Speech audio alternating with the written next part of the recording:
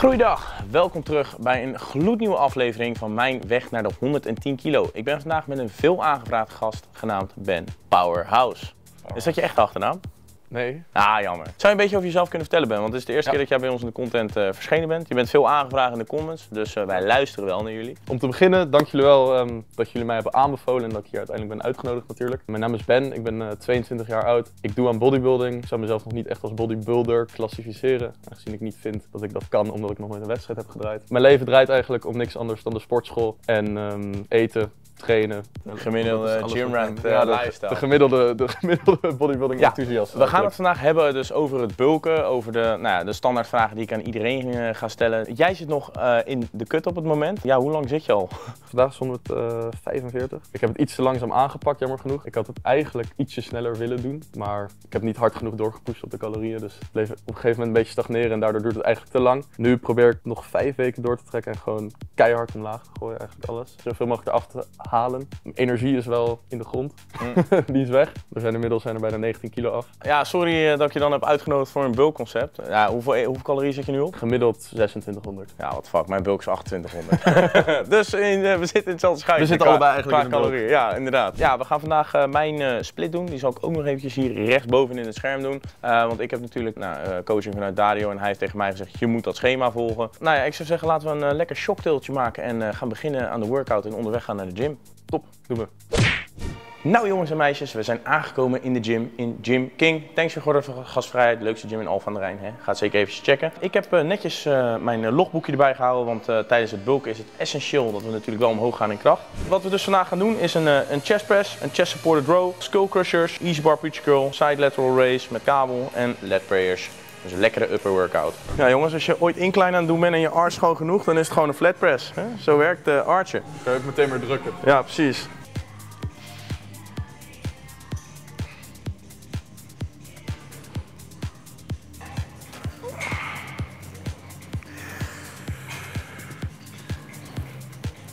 Ik ben ook echt absoluut niet sterk, man. Dat, mag, eh, dat, dat hoeft niet op be- op beeld. Dit is voor mij al denk ik echt untouchable, man. Dat, ik denk dat 30 per Oh. kant echt al de max is. Maar als je er 14 kan met 20, dan kan je toch wel meer dan 30 kilo voor 6. Werkt niet zo bij mij, man. Ik denk het wel man, je moet gewoon harder pushen. Ik ga mijn best doen. Hey, niet zo doen, hè?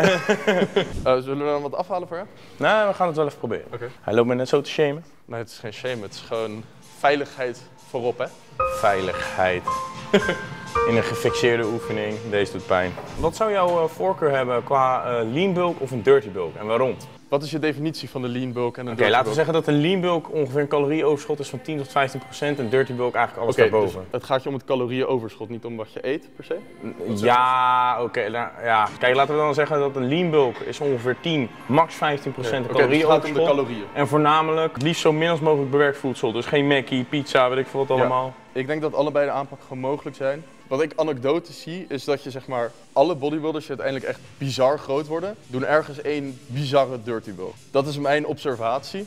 Of dat dan per se het juiste is, dat zou ik niet zo goed weten. Ik denk sowieso voor naturals waarschijnlijk niet zo heel handig, omdat je daarna al dat vet weer kwijt moet gaan raken. Want dat is uiteindelijk waar je op komt als je die bulk te lang doorzet. En al helemaal als je met te veel calorieën start, kom je heel snel op een punt waar je eigenlijk te dik bent. En als je dan daarna nog door gaat zetten, ja, je blijft altijd evenveel spiermassa aankomen. Of je nou 20% bodyfat hebt of 30, dat maakt niet zo heel veel uit. Maar als je uiteindelijk je bulk eindigt op 30% bodyfat en je wilt weer terug naar 8, ja, dan moet je als Nelly moet je dan eh, anderhalf jaar gaan kutten ben je ook net als Ben eh, een half jaar Ja, bezig. je eh. super lang aan het kutten en kom je nergens. Ja, nice. En uiteindelijk wat we eigenlijk willen krijgen, daarom denk ik dat lean bulk denk ik de way to go is. Met een gewoon een overschot van misschien 300 tot 500 calorieën of zo. We willen één keer een goede cut doen richting de 8%. En daarna gewoon van die 8% opbouwen, dat we niet heel veel verder dan 15, 18% body fat komen. En dan kan je de hele tijd tussen die range groeien. En wat je dan gaat krijgen is, dan kan je dus een redelijk snelle cut doen. Nou, van 15 naar 8 procent, dat hoeft niet heel lang te duren. Daar ben je in drie maanden of zo. Heb je dus drie maanden gekut. Ehm, maar ik denk in die situatie zou je dan dus krijgen dat je dus op 300 à 500 calorieën overschot, kan je gewoon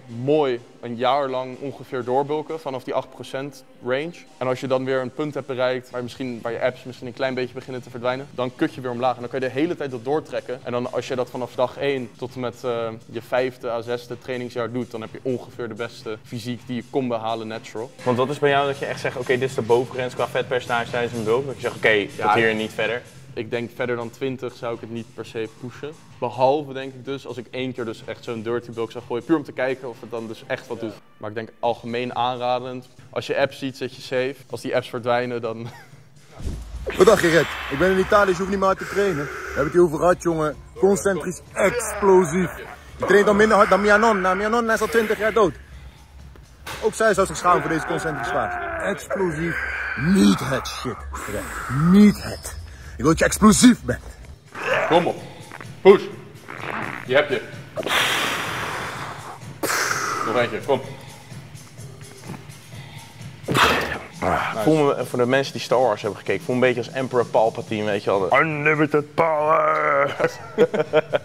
Stel hè, eh, in mijn geval dan nu, ik zit op 2800 calorieën, dat is voor mij genoeg om aan te komen. Want mijn ruststofwisseling zit tussen 24 en de 2500. Stel dat ik elke keer nou, net niet consistent genoeg ben en ik zit dan op die 2500, dan zit ik net op onderhoud. Gaat spiergroei dan gerealiseerd worden? Weet je niet zeker. Als je echt in een overgroot calorieënoverschot zit, dan weet je het wel zeker dat je aankomt. Dus dan is een dirty bulk soms wel het zekere voor het onzekere wel makkelijker. Alleen ja, je moet veel harder werken om het weer weg te poetsen, om weer op het strand te kunnen lopen. Als je met de verwachtingen ingaat van ja, ik weet dat ik te dik ga worden, maar ik weet wel dat ik mijn massa eigenlijk ga maximaliseren, dan is eigenlijk alles prima. Maar het is lastig om zo adviezen te geven. Kijk, bijvoorbeeld, ik ga dan alles uit bodybuilding perspectief bekijken. In mijn hoofd ben ik van maximaal, maximaal, alles gaat sowieso kloppen.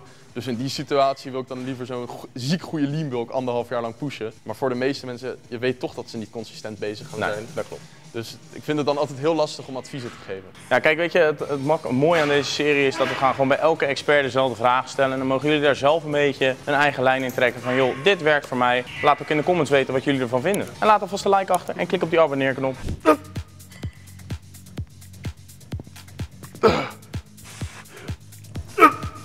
Push, push, push. Push, push, push. Zelf terug. En als je nou een echte nou ja, goede groeimaat, of je hebt een hekel aan je groeimaat, of je wil hem gewoon narren, gewoon bij die excentrische fase nog harder terugduwen. Ja, want superleuk. Die exce- nee, nee, maar die excentrische fase is zeg maar wel waar de meeste spiergroei plaatsvindt. Juist ook op het moment dat je achterin de set zit. Weet je het niet mee eens? Of? Nee.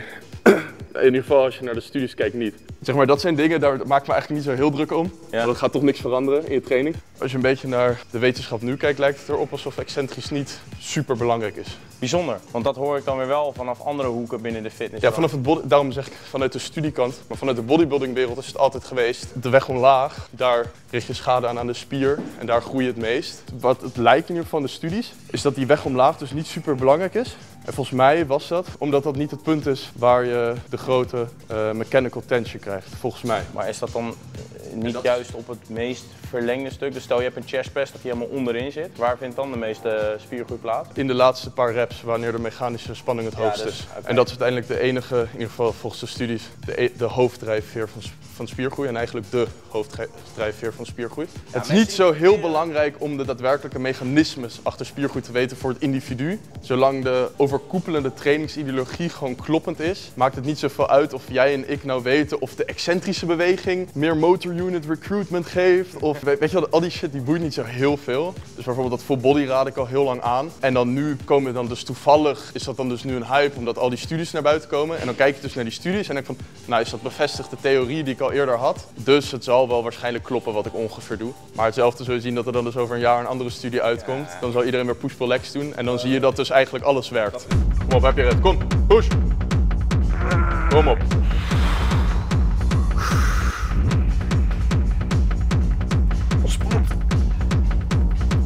rustig laten zakken. Kom. Nice. Ik heb het ook al een paar keer eerder gezegd. Voor mij is de lekkerste spot dat ik zodanig hard kracht aan het zetten ben.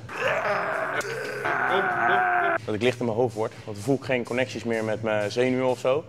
Dan voel ik gewoon, zeg maar, dan voel ik het alleen maar tintelen. Voel ik geen pijn. Oké. Vier extra reps in de tank. Ja, oké, oké. Drie.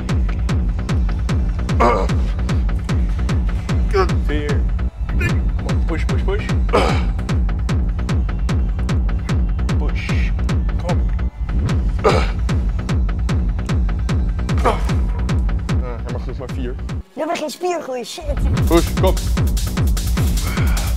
Nog wel vijf in. Kom. Push.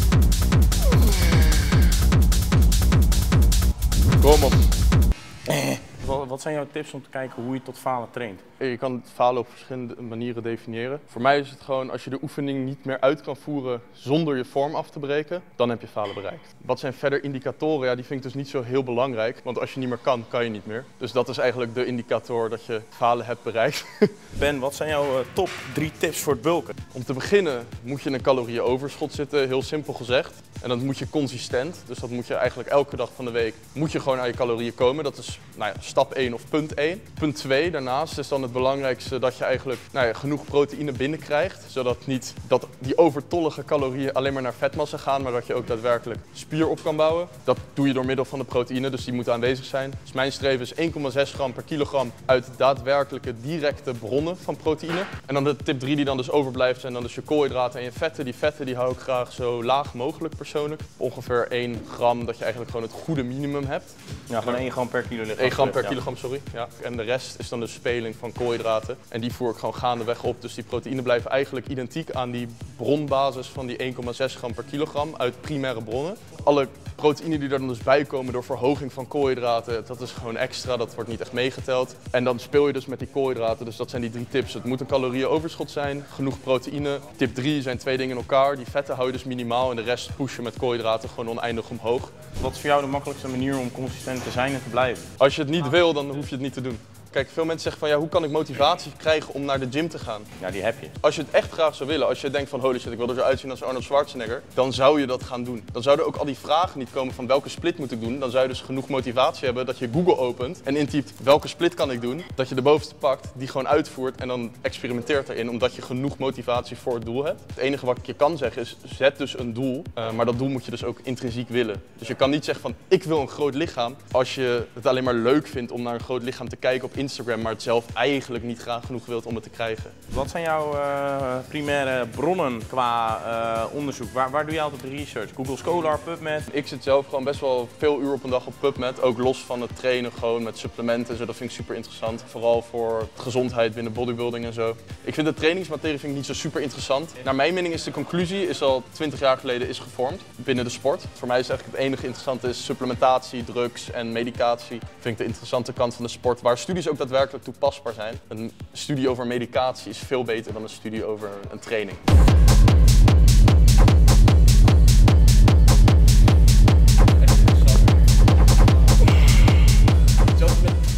Altijd op de hoogte zijn van de lekkerste supplementendeals. Wij zorgen ervoor dat jij nooit meer een melding mist. Download nu de Sportpoeder app en zet je berichtgeving aan. Hoe kan je makkelijker eten terwijl dat je geen honger meer hebt? Ja, kijk, uiteindelijk gaat honger gaat dus altijd een rol spelen, want je eet gewoon veel te veel. Hetzelfde als bij het kutten, je bent jezelf aan het uithongeren, dus je gaat altijd honger hebben. Maar je kan het natuurlijk minimaliseren en dus ook bij het bulken kan je ervoor zorgen dat je minder vol zit. Dus dan is eigenlijk het belangrijkste, en dat komt dan ook een beetje bij de vraag van wat moet ik eten, ook weer heel erg individueel. Wat verteert voor jou goed? Kijk, als voor jou een pasta echt super goed verteert en dat niet lang in de maag eet, dan gaat er super veel pasta naar binnen werken. Als je weet dat eet ik, na een half uur is mijn maag eigenlijk bijna leeg, kan ik weer door. Maar als dat bij mij, als ik dat eet en ik voel dat in mijn maag liggen en dat echt na drie uur Tijdens denk ik van, is niet oh, lekker. er zit nog zo'n heel bord pasta in mijn maag. Ja, dan kan ik beter wat anders eten. Ik vind het zelf, vind ik die cream of rice bijvoorbeeld heel fijn. Ik doe zelf griesmeel, omdat ik die cream of rice veel te duur vind. Maar dat griesmeel, daar kan ik echt gewoon bakken van weg eten. En dat gaat ook, dat ik dan een half uur nog voor trainen kan ik het eten. En tijdens mijn training krijg ik gewoon honger, omdat mijn maag leeg is. Dus in theorie kan ik daar waarschijnlijk gewoon 2 kilo van op een dag eten als ik zou willen. Zonder dat het ook verteringsproblemen geeft, omdat het zo licht voor mij verteert. Dus dat wil je dan zoeken en dat gaat je dan ook minder honger geven. Dus je wilt opties kiezen die heel snel verteren. Dus lager in vet, mager vlees, snellere koolhydraten. Dan minimaliseer je hoeveel vulling je hebt. En dat is eigenlijk de enige tip daadwerkelijk voor wat kan ik doen om meer honger te krijgen tijdens het bulken en meer te eten. En dat ga je ook merken. Je wil nu bulken. Je gaat dagen hebben dat je helemaal niet wil eten. Maar als je dat doel wilt halen, dan werk je het gewoon naar binnen. Want uiteindelijk is het niet zozeer dat die maag vol zit of zo. Je lichaam wil gewoon niet meer eten, want dan denkt, yo, dankjewel, we hebben genoeg. Vetreserves zijn genoeg. je We wel. zitten vol, maar daar moet je doorheen forceren. En het enige wat je dus kan doen is minimaliseer vulling, maximaliseer voeding die je goed verteert. En dat, dat is het eigenlijk. Nou Red, leg jij maar even uit of je straps gebruikt of niet. Oh ja, ik heb hier laatst ook al een Oh, reel je gezien eh, van, van eh, Strappy Ben. Ben is heel erg fan van straps. Ken je dat nummer van eh I'm a strap man, die dat Dat zingt je niet, hè? Man. Ja, weet ik, maar bij jou is het I'm a strap, man. Be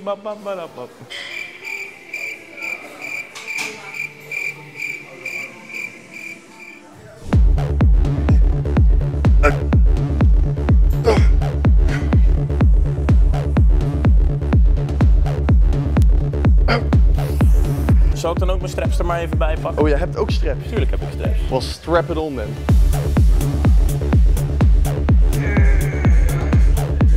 Één, kom.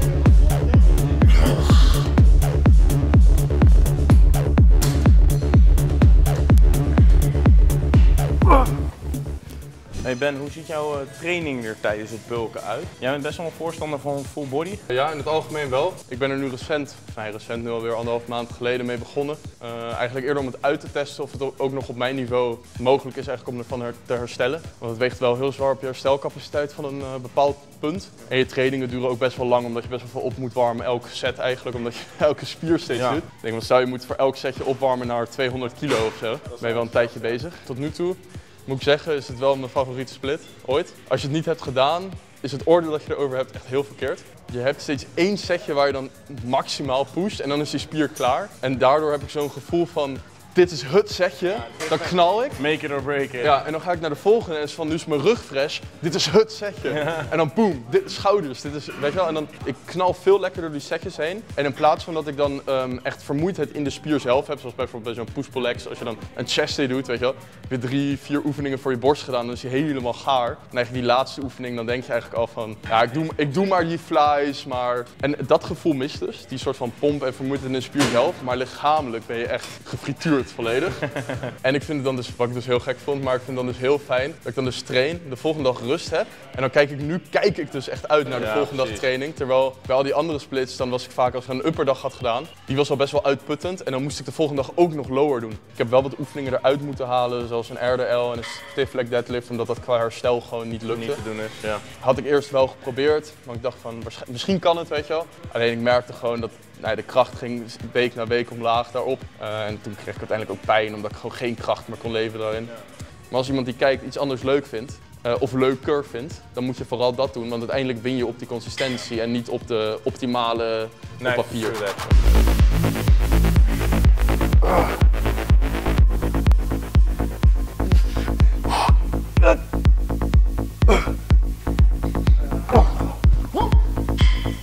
Nice.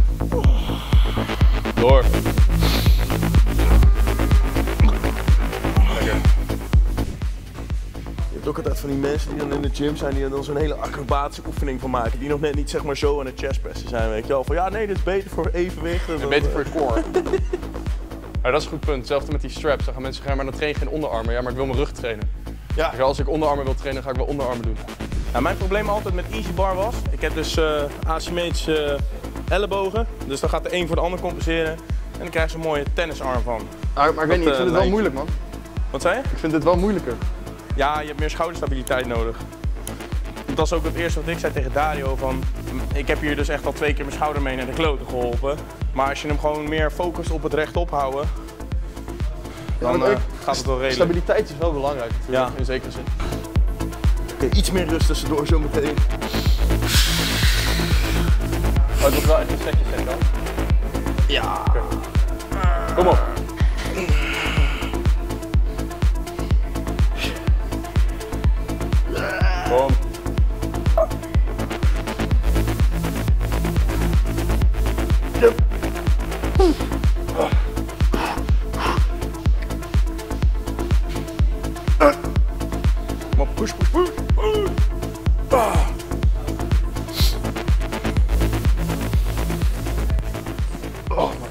Ja, jij zei natuurlijk net al dat je favoriete eten die cream of rice meal is. Wat is jouw favoriete ontbijt tijdens bulken? Sorry als ik nu allemaal van dit soort dingen ga vragen terwijl dat je aan het kutten bent, maar, Oh eh, ja, maar dat maakt niet het uit. is juist lekker om over eten te fantaseren. Mental resilience.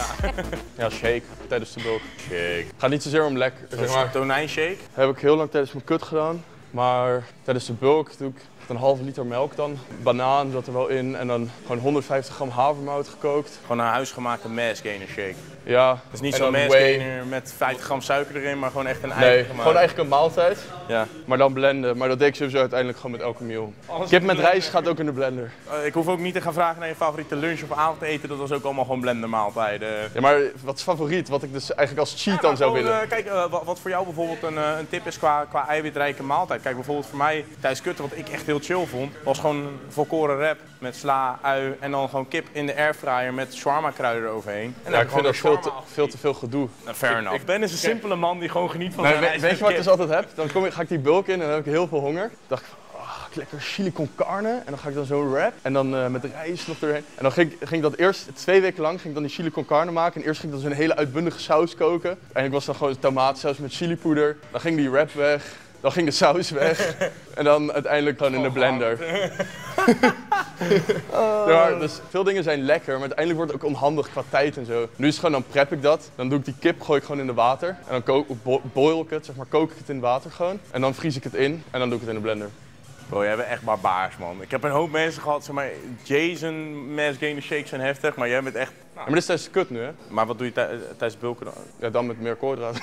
Dat is ook gewoon een bulk, maar dan met meer Nee, nu doe ik gewoon dus, als ik bijvoorbeeld eh, haast heb en ik kan dan dus niet de rijst erbij koken, dan is die kip die is dan ongekruid. Ja. Dus dan maak ik gewoon een beetje havermout in dezelfde hoeveelheid als die rijst. Die doe ik in de, in de blender en dan die kip erbij. En dan neem ik het mee onderweg als shake. Nou, mocht je daarvan houden, je kan alles blenden Ja. dus. En wij hebben laatst hebben wij voor een video met eh, eh, een gymquiz video. Toen moest iemand een shake met tonijn daarin drinken. Maar die heb ik dus mijn hele Maar dit vreet jij gewoon als Ik heb mijn eerste kut heb ik dat vier maanden lang gegeten. Dat was een straf, maar jij doet het gewoon elke dag na de training tonijnshake. En dan deed ik eh, drie rijstwafels, blikje tonijn, zout, peper, water. En dan ging ik dat als post-workout drinken. Maar kijk, dat klinkt dan van buitenaf heel gek. Maar ik vind het Ja. echt gewoon nice. Ja, kijk, ik kan ook prima een shake eh, met tonijn erin wegtapen. Maar het is nou niet echt dat ik denk, oh, dit is echt lekker Het is gewoon een vissoepje. Vissoepje. Nee, maar het gaat niet zozeer om lekker of zo. Het is gewoon van, zo zorgen ervoor dat je nooit een meal mist. Want ja, je kan dan heel makkelijk zeggen van, oh ja, ik heb nu geen tijd om een rijst een kwartier te koken, ik moet weg. Maar ik kan ook zeggen, ja, ik heb wel twee minuten om de kip in de blender te doen en dan heb je wel gewoon een meal. ik had op een gegeven moment ging ik protein sparing modified fast doen, dan eet je alleen maar proteïne. Want vorige kut had ik geen zin meer om te kutten, wilde ik er gewoon klaar mee zijn. Gewoon twee weken lang alleen maar proteïne gegeten. En toen ook gewoon, was ik super creatief geworden met allemaal twee ingrediënten dingen en zo. Dan gewoon whey en dan een beetje bakpoeder. En dan ging ik dat gewoon in de magnetron zetten met water. En dan had je gewoon een soort van muffin. En dan was ik echt van, oh, het smaakt naar chocola. Of dan had ik een eh, twee ingrediënten pannenkoek, gewoon alleen kwark met whey. En dan deed ik het gewoon in de pan. En het werkt. Weet je, dat zijn gewoon goede recepten. Ja, die de mensheid geweldig, hoort man. te kennen.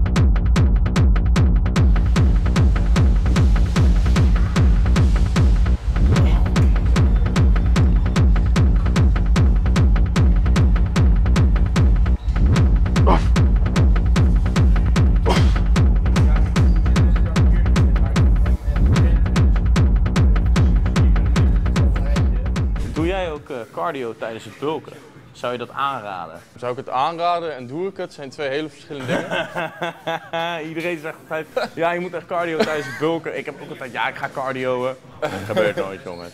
Kunnen we eerlijk in zijn? Het moet wel eigenlijk, maar het is wel echt heel moeilijk om te doen. Ah, het is gewoon zo makkelijk om te skippen. Dat is echt het probleem met cardio, want het is echt gewoon best wel saai. Vooral die bodybuilding cardio. Nou, ik ga nu naar Duitsland vertrekken en dan ga ik gewoon direct een goede routine aanleren. En die ga ik gewoon niet meer stoppen. Dus ik ga wakker worden, dan ga ik naar de gym direct, ga ik cardio doen, ga ik weer naar huis. En dan heb ik mijn cardio binnen en dat ga ik gewoon elke dag doen en niet stoppen. En dan ook gewoon mijn hele bulk doortrekken. Ik denk dus dat het essentieel is tijdens een bulk, vooral als je echt bizar veel massa wilt krijgen, dat je die verbranding ook maximaal opschroeft. Dus ook je stappen gewoon naar 20.000 of zo per dag pusht en cardio erbij pakt. Vooral op het later stadium, die stappen die bouw je gaandeweg op, zodat je honger blijft creëren eigenlijk. Want dat is weer een puntje over honger dan. Op een gegeven moment gaan die 6000 calorieën er niet meer in. Maar als je je stappen van 10.000 naar 20.000 verhoogt, dan kan je weer makkelijk 500 à 600 calorieën of zo bij eten. Ja. En daarnaast is het gewoon essentieel voor je hart.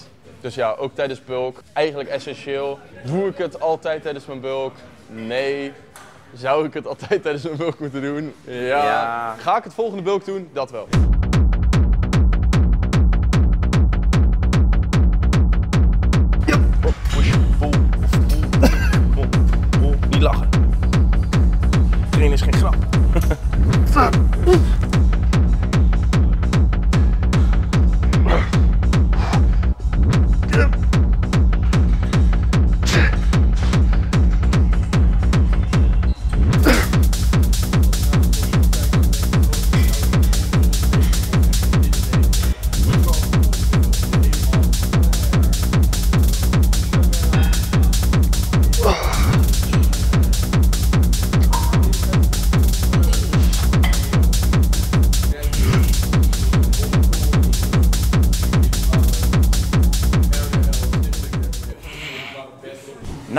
Dat was alweer de tweede aflevering van mijn Road to 110 kilo. Ben, ontzettend bedankt voor de gezelligheid en eh, ja, voor je wijsheid. Geef Ben zeker eventjes een follow op de socials. Als je Duits kan, ook even het Duitse kanaal.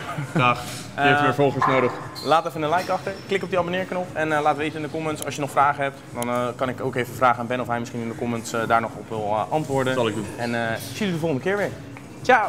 Sportpoeder, de sterkste supplementenvergelijker van Nederland.